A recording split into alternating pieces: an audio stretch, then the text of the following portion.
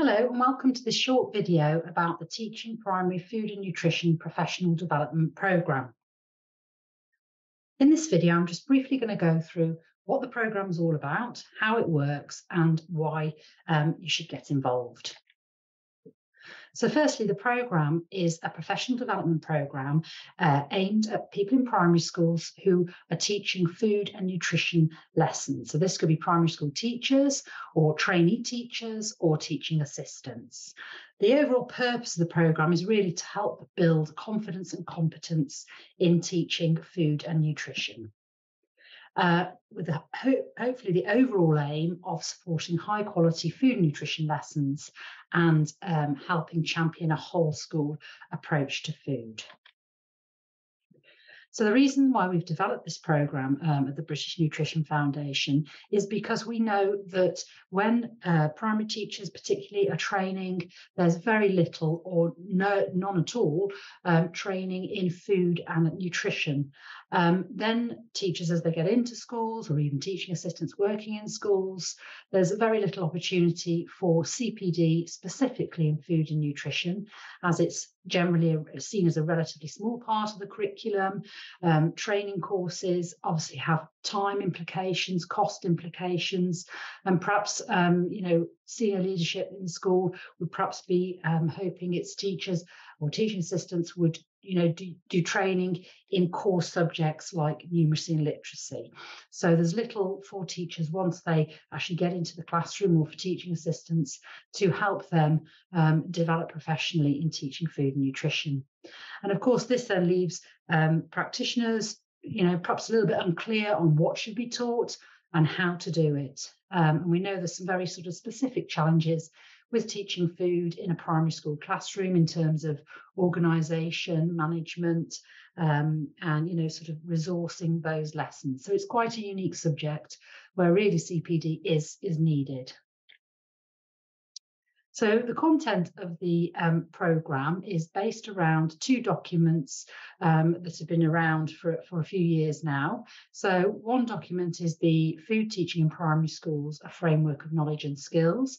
And this is a document developed um, by government alongside the British Nutrition Foundation and a number of other organisations um, with expertise in food and teaching um, to put together this framework. And then the characteristics of good practice, that's a sort of exemplification of what good food teaching looks like in primary schools.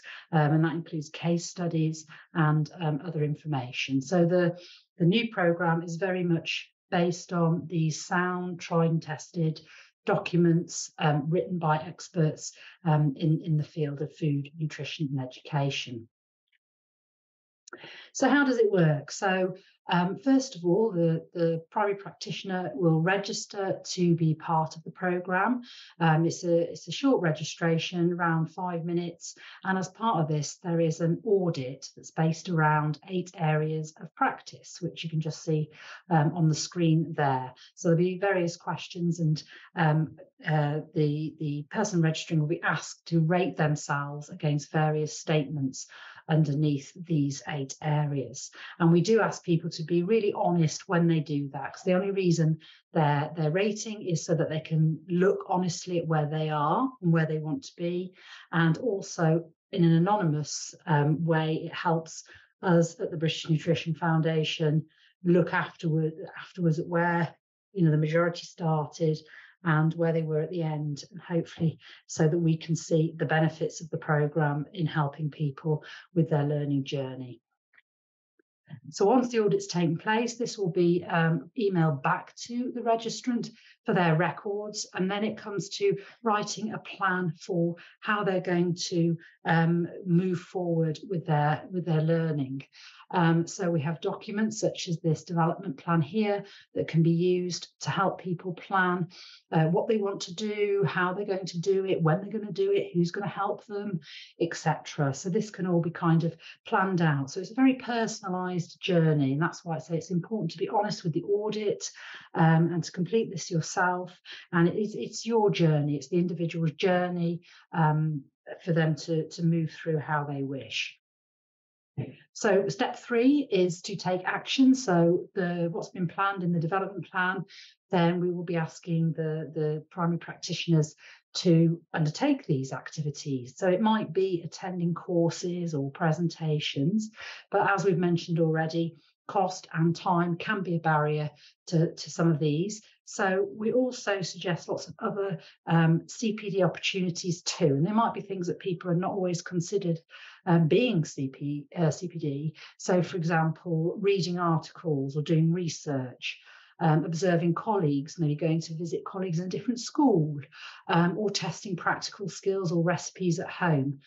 Um, so all sorts of ideas that we'll be sharing as part of the programme um, to help people really plan and um, build their own CPD programme. Then after this comes reflection. So this is thinking about what's happened, how it's impacted teaching. So a really important part of this programme is self-reflection, um, and that's really what what uh, takes you on the whole journey. So looking at where you are, what you need, how that helps, how you move on, what you need next. So it's a kind of a circular journey um, and very much say tailored to yourself. You guide it, you lead it.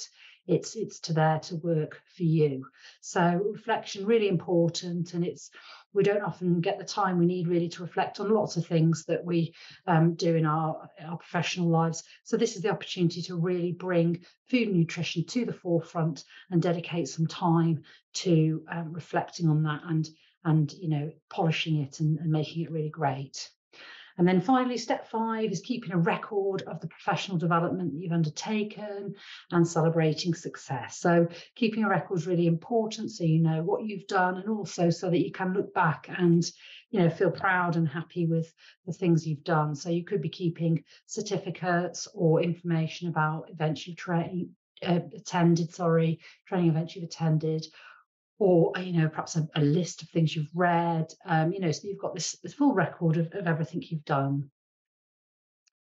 Um, and just to, to introduce at this point the professional portfolio. So we are going to be um, producing uh, 1500 professional portfolios. That's like a physical a physical binder and booklet. So these will be available to the first 1500 uh, regist- uh, registrants. Um, so there will be a folder and then a booklet that goes in it, which has information, checklists, ideas, tips, etc. Um, if you if you don't manage to get one of those, that's okay. Um, it'll all be available to download. You just won't have a sort of a, a physical copy of a, a folder. And those folders will be sent out at the end of January, March, and June in 2023. And then just to say as well at BNF, through our education programme, Food of Life, we'll be providing lots of training events. And we've already got the first six months of uh, 2023 already covered online, um, an outline of what we're going to be providing. So there'll be uh, webinars and there'll also be workshops. So that's where people can actually, you know, cook along or, um, you know, make and try different skills um, with us and, and ask questions. So it's inter- interactive as well. Um, so those events will run from January 2023, and our program is a two-year program, um, and that's the sort of time period that we'll be providing information, signposting resources, running training. Um, so it's great if, if uh, we can get registered as soon as possible, and, and then you get the full two years of the program. But obviously, it doesn't need to end there. It's a personal journey. That's just to get you started, and you can continue yourself from that point. So, just a quick reflection on why we might do this. So, um, it's for personal and professional development to help uh, give you the confidence and competence to teach uh, food and nutrition really well and to a high level in school. So it's development for yourself. Um, having a portfolio and keeping it all together in a structured way um, actually provides evidence to support for performance management and possibly when looking at you know promotion opportunities in the future. There's some evidence there to show the CPD journey you've been on. And also, it's free. This is a really unique opportunity. Uh, we've been lucky to receive financial support from the All Saints Educational Trust, uh, which has enabled us to develop the programme and produce the physical printed resources. Um, so we're very grateful um, to them. So just as they get involved, um, it is for primary schools. So we'll be looking for people who are working in primary schools, teachers, trainees, and assistants.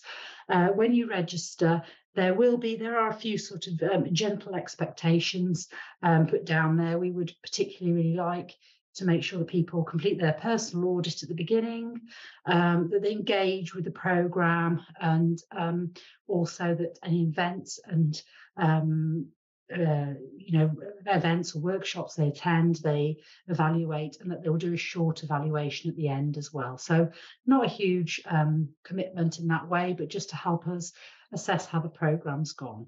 I say in return the british nutrition foundation will be providing training signposting and support to help people move through the program. Um, if you have any questions you can contact us. Um, my name is claire and you can contact myself or my colleagues on education at nutrition.org.uk. Thank you.